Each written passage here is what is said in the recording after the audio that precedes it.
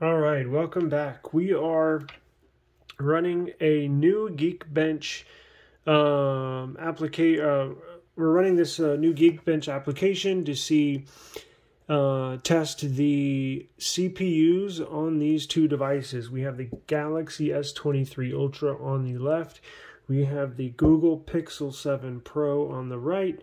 This has the new Snapdragon um, 8 Gen 2, and this has the new Google Tensor Chip 2.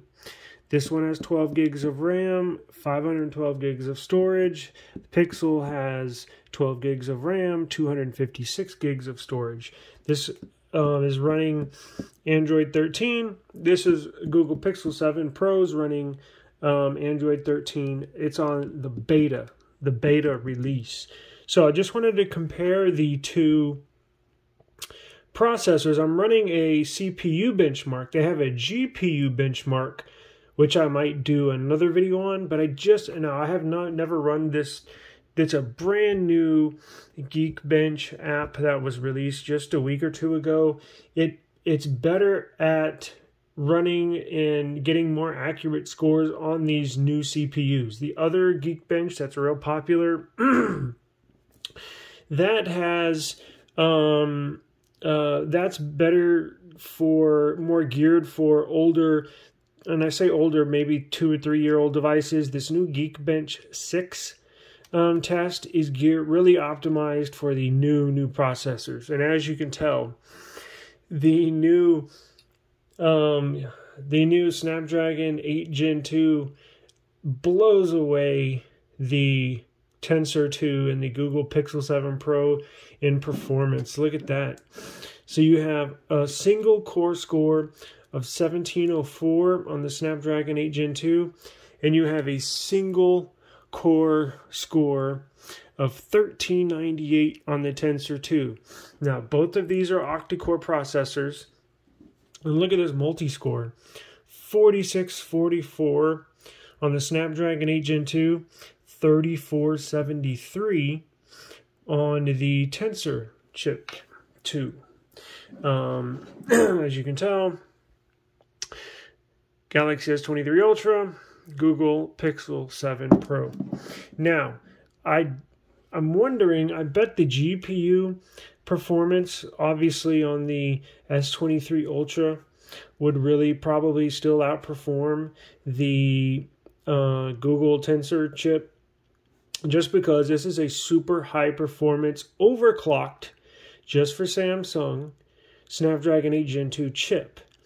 Now, as you can tell, we have the you got the motherboards, you got the governors on here, uh, you got the model of the devices, you got the kernels they're running, both Android 13, and then here you get down to the CPU. Um, let me get this out of the light. Sorry about that. There we go. Really tells you here, breaks down the different chips. You got ARM on the left, you got Tensor on the right, both octa-core processors. Um, and you can really tell the clusters here on the Snapdragon 8 Gen 2 that it, it beats the um, performance gigahertz on these devices. Now, what I did to, to make this as fair as possible is I don't have any apps running in the background. Um, and I actually cleared all my recent apps on both devices. I made sure every app was updated. I went to the App Store, updated every app, cleared all the recents. And then what I did is I restarted both phones.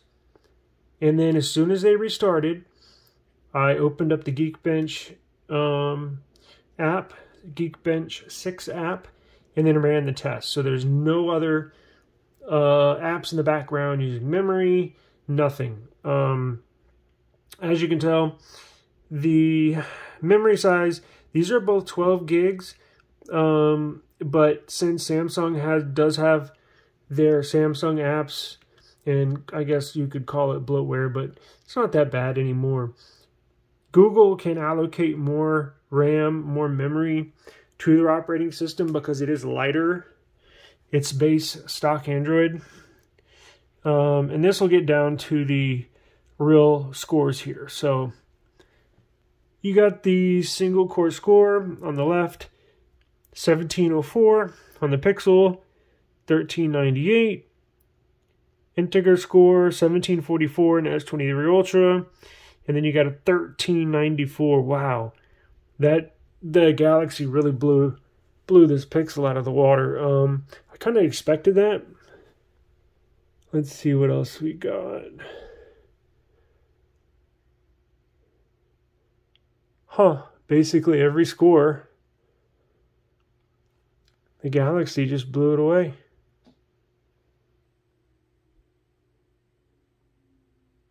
And then here you go down to the multi-core. So, not a big surprise. Let's do, let's run a, uh, let's run a quick speed test. I have on these devices, I don't have any other apps in the background besides that Geekbench. Now let's do this. Let's clear these out. Oh, I had the Play Store. Now let's clear these out. Now I have animations in the developer uh, settings. I have the animations turned off, completely off. Um, let's see, just a real, let's open some apps and just see which ones which, which, which one can open apps a little faster. I have the same setup here, because you, as you can tell across the bottom, um, just this is tiny different, but basically the same. When we can go across, let's see, let me move this one over here. Let's do this. Okay. So let's try this. Ready? I'm going to do the phone app on three. One, two, three. Tie. Do the uh, messages apps on three. One, two, three.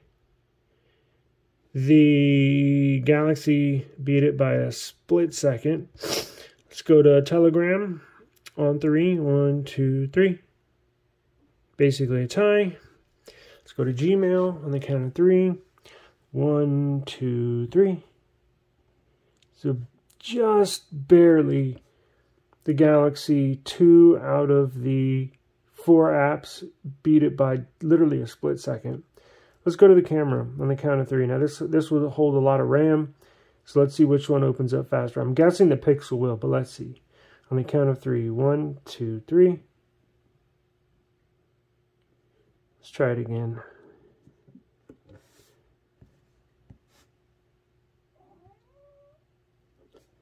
clear all the apps on the count of three. One, two, three. Well, basically a tie. Wow. Let's do Google on the count of three. One, two, three. Pretty close.